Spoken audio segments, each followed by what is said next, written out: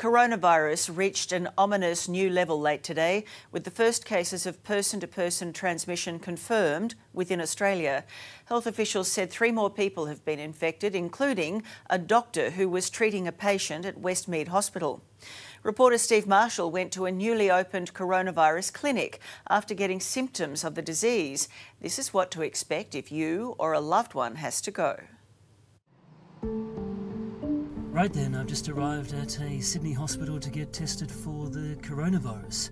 A few weeks ago, I travelled back from Europe via Singapore. It was just a, a stopover for a couple of hours at Singapore Airport, and although I felt fine when I arrived in Australia, a day or so ago I had a sudden onset of flu like symptoms, so here I am for the test. Coronavirus testing clinics aren't in hospital emergency rooms, but signs will show you to the nearest testing site.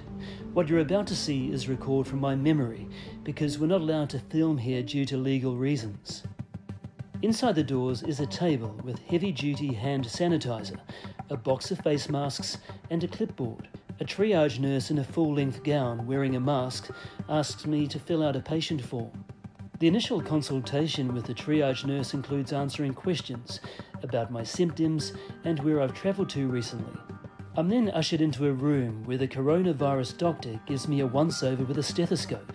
From there, I'm led into another room where three swabs are taken from me one from deep inside each nostril, and another from way down the back of my throat. Finally, my veins are tapped for a couple of vials of blood. And then I'm sent on my way. All up from start to finish, the entire process takes about an hour. The nurse gave me this bag of goodies here. Uh, inside, there's some hand sanitizer, uh, some information regarding coronavirus, a couple of numbers to call.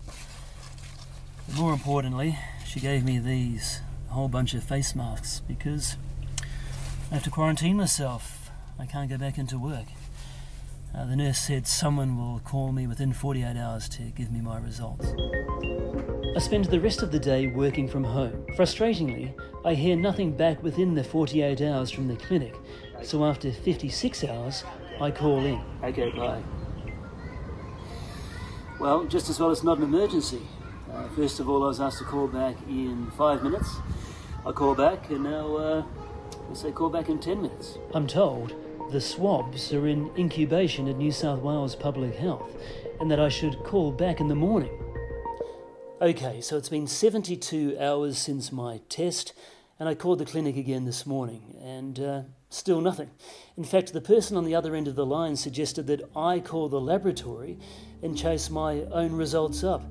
What this means is that I have to stay home, I have to file my script and my voiceover for this story from home because I can't go into work just in case I am coronavirus positive.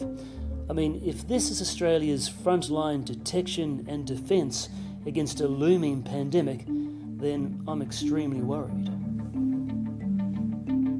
Eventually, after more than 75 hours since my test and numerous phone calls chasing up the result, I finally get some answers. What you're telling me is that I have not tested positive for coronavirus. That's correct.